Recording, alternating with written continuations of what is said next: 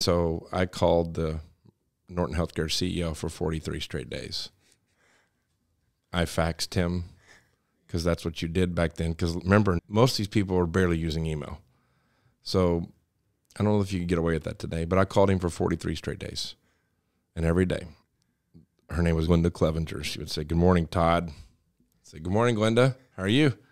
May I speak to Steve? You may not. Cool. Um, please tell him I called. I'll call back tomorrow. And so then I had to get the back to networking Cal. I had to get other people to help me. So then I started going through finding all the people that worked at Norton Healthcare that were from Murray State.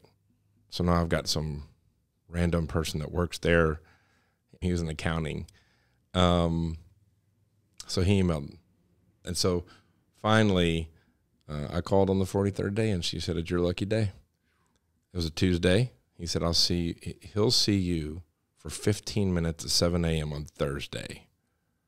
I'm living in Murray. I said, I'll be there. So I was there. He gave me 90 minutes and he said, We don't do internships for hospital administration. I said, I don't want an internship. I want to work for you.